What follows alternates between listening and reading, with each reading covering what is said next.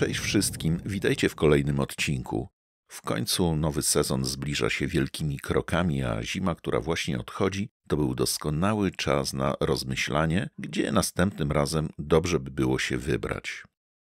Czyż nie jest to fajne uczucie, gdy przełom lutego i marca oznacza temperatury powyżej 10 stopni Celsjusza, a czasami nawet 15?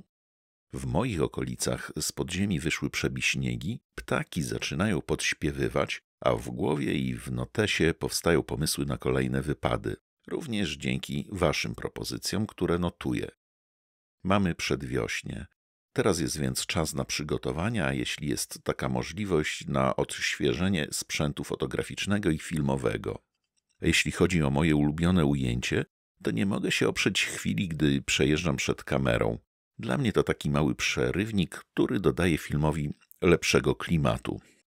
Najważniejsze jednak, abyście wy, moi widzowie, nie zastanawiali się, jak to było zrobione. To trochę zabieg skomplikowany, ale czego nie robi się dla dobrego ujęcia. Ustawiamy kamerę na statywie przy drodze, oddalamy się, przejeżdżamy przed kamerą i wracamy po nią. Prawda, że proste?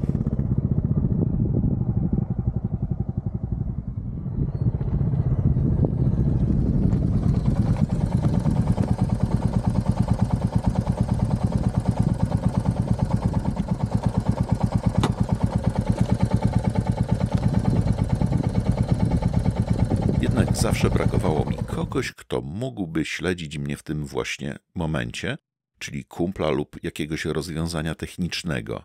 Na szczęście firma Insta360 wpadła na genialny pomysł i stworzyła zestaw motocyklowy z kamerą Insta360X3 Motorcycle Kit. To idealne rozwiązanie dla każdego pasjonata filmowania, zwłaszcza gdy masz takie zapędy operatorskie jak ja. Kamerę dostałem od firmy Insta360, a na koniec pokażę, co jest w zestawie. Ale to jeszcze nie wszystko. Przy okazji nie mogłem sobie odpuścić, żeby nie podzielić się z wami jakąś niesamowitą historią z moich stron. Tym razem będzie to opowieść o legendzie związanej z twierdzą Przemyśl. Legenda znana jako tajemnica pewnego fortu. Więcej na ten temat już za niedługo, więc trzymajcie się i zapraszam w krótką podróż po moich okolicach.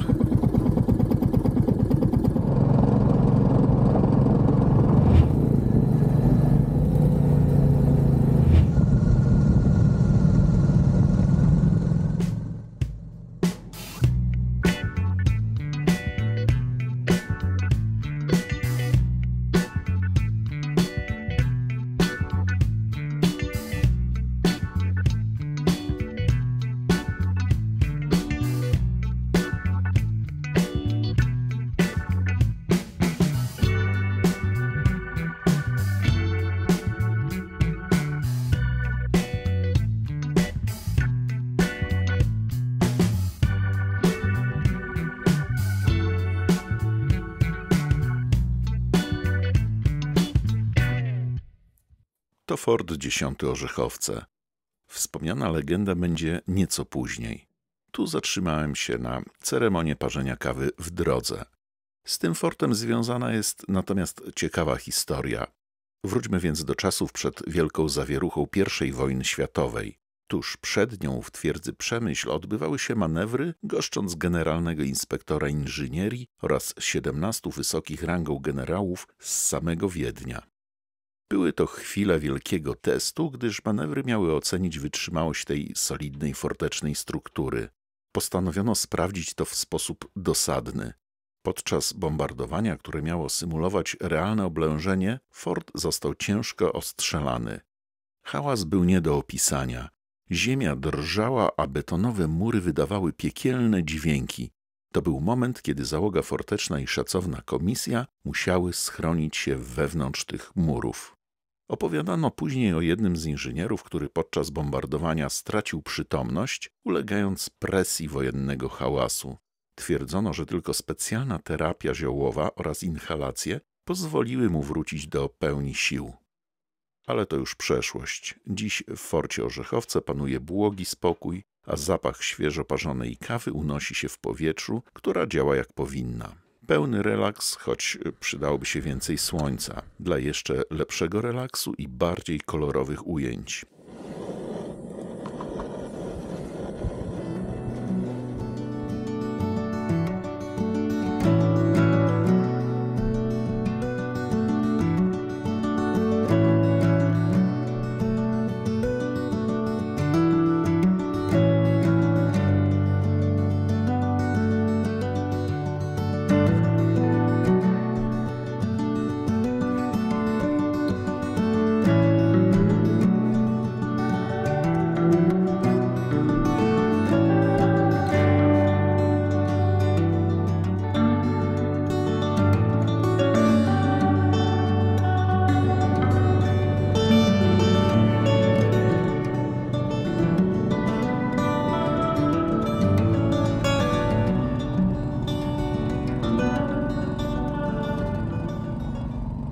Śledzę odcinek o możliwościach kamerki Insta360X3, z której niesamowite ujęcia wciąż się pojawiają w tym odcinku, ale obiecałem wspomnieć o niesamowitej historii tajemnicy Fortu XIII, twierdzy Przemyśl.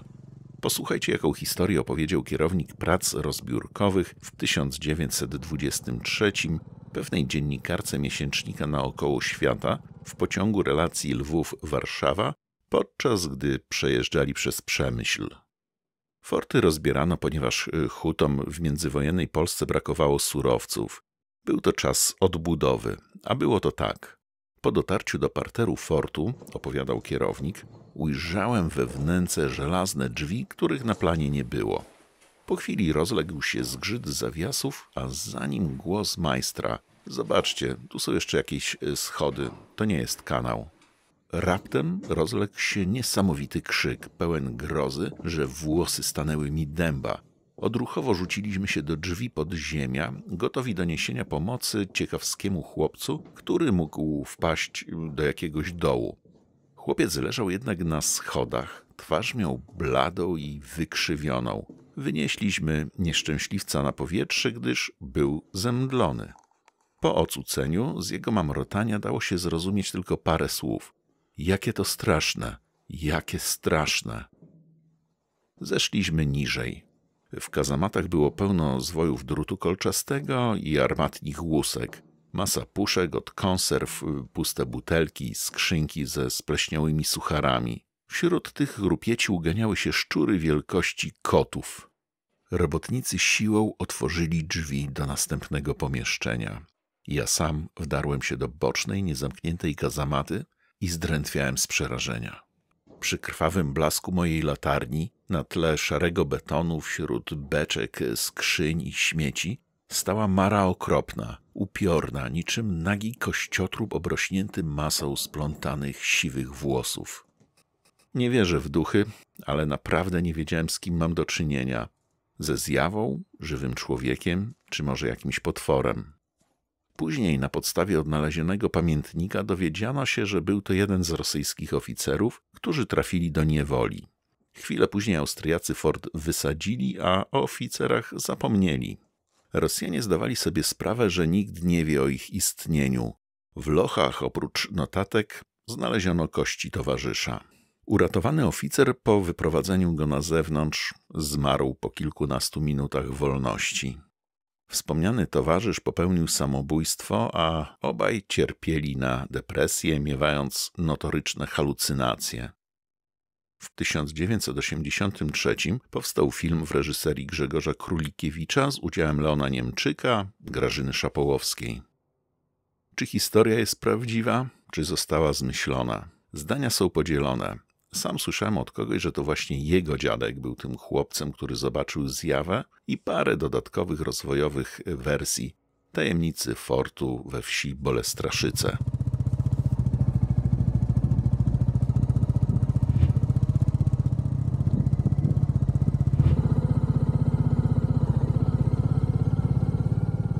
Jeszcze ostatni objazd Fortu 13 Saint-Rideau w Bolestraszycach oraz ostatnie próby z kamerą Insta360X3. Sezon przede mną, przede mną również poznawanie możliwości tej niesamowitej kamery wyposażonej w dwa obiektywy. Jeden z przodu, drugi z tyłu, które w niezwykły sposób widzą wszystko wokół. To mocno niezwykłe.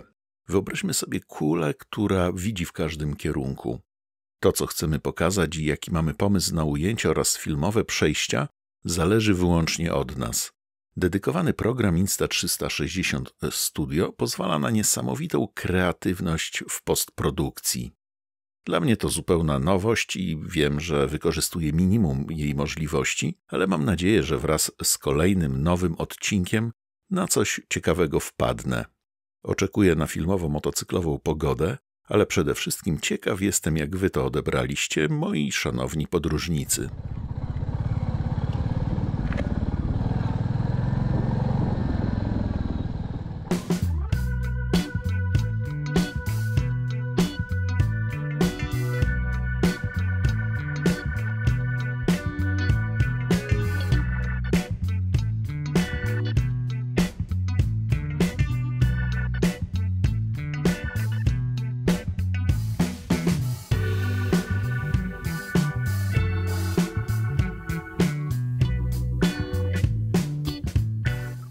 A teraz czas na tak zwany unboxing, czyli po naszemu dobranie się do zawartości pudełka. Głównym bohaterem jest oczywiście kamera Insta360X3, urządzenie, które zmienia sposób filmowania świata, dosłownie świata wokół nas. Ten zestaw nie pozostawia niczego przypadkowi. Oprócz samej kamery dostajemy mocowanie z zaciskiem na kierownicę, gmole i tam gdzie się da, gwarantujące stabilność podczas jazdy. Trzeba przyznać, że bardzo solidne. Jest też ochrona obiektywów, przedłużenie do mocowania np. przy kasku, uchwyty z naklejkami, które można przykleić do wspomnianego kasku lub innych powierzchni. W komplecie znajdziemy też dobrą i szybką kartę pamięci microSD 64 GB.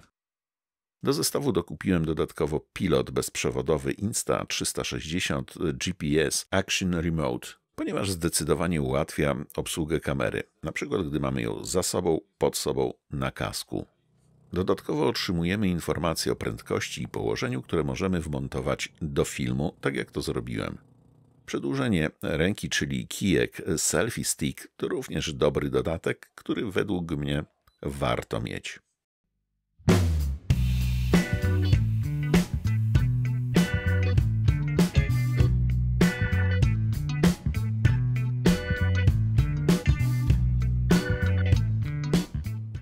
Dziękuję za wspólną podróż w czasie i przestrzeni. Za chwilę wiosna, nowy niezwykły sprzęt filmowy gotowy do podróży, a ja nie mogę doczekać się, aby ruszyć już w drogę. Czekam na Wasze komentarze, podpowiedzi oraz informacje o miejscach niezwykłych, o takich, które warto odwiedzić. Jeśli opowieść ta przypadła Wam do gustu, kciuki w górę i subskrypcje mile widziane. Z góry dziękuję, pozdrawiam i polecam się na przyszłość. Grzegorz. Thank you.